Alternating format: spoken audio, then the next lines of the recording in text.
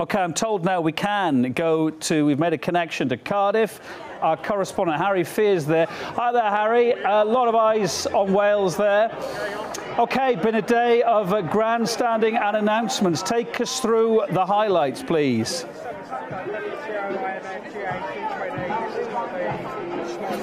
Yes, well, this is the first day of the two day NATO summit in South Wales. I'm now just meters away from Cardiff Castle, while some of the most high profile leaders have been arriving just uh, in the last few moments. Uh, this is all in the context of angry demonstrations here in Cardiff and earlier today in Newport as well.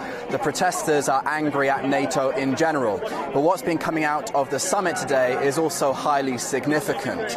We've seen direct allegations against Russia from the Secretary General of NATO, Anders Rasmussen. He has explicitly uh, called out Russia, uh, alleging that Russian boots have been on the ground. Uh, this is among uh, the Ukraine turmoil. Now, we've also heard uh, a clarification statement from the French President Hollande uh, with regard to his statements earlier yesterday about the suspension of this warship transfer, this business deal back from 2011, this political move that France took against Russia.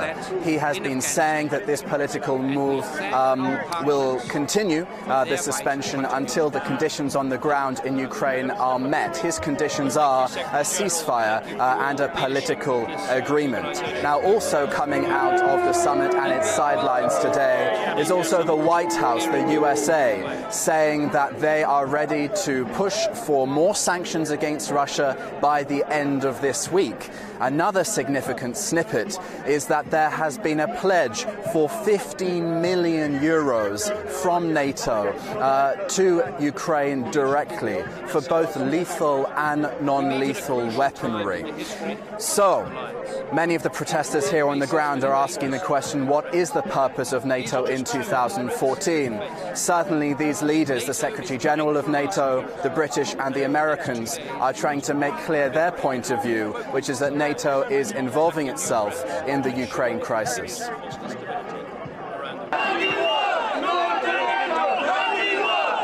To keep the Russians out, the Americans in, and the Germans down.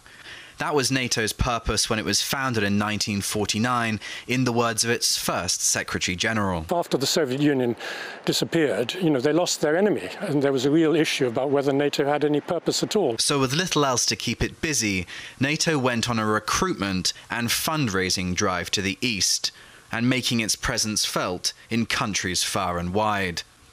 Now, though, the alliance thinks it's found a hook.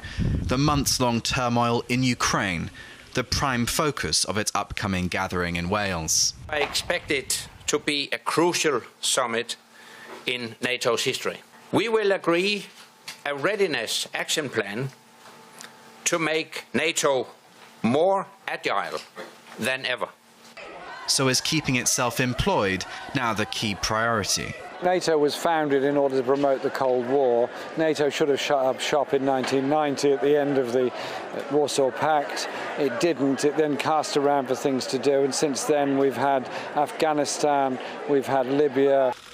And Eastern Europe is next a bolstered presence based on British and American support. We must also use the summit to ensure that NATO is prepared to respond swiftly to any threat against any ally including with little warning. That means a multinational, high readiness force that can deploy quickly on exercises in the territory of an ally that feels threatened. But there are divisions on how far they should go. Germany, Italy, and Spain, among others, are thought to oppose taking measures that could be read as provocative to Russia. NATO expansion uh, has gone too far. It should never have mentioned Georgia, never have mentioned Ukraine. Obviously, that concerned Russia, just as if the Canada and Mexico had started to join an anti US alliance, the US would be worried. So, primed with a new purpose, the alliance is back to business. With imposing security fencing surrounding Cardiff Castle, where the delegates will meet, security preparations are bound to inconvenience locals going about their business. But what goes on inside those meetings is a much greater concern. Given the resurgent possibility of expansion into Eastern Europe, anti-NATO protesters hope that the summit won't be the launchpad to a dangerous confrontation. Harry Fear, RT, Wales.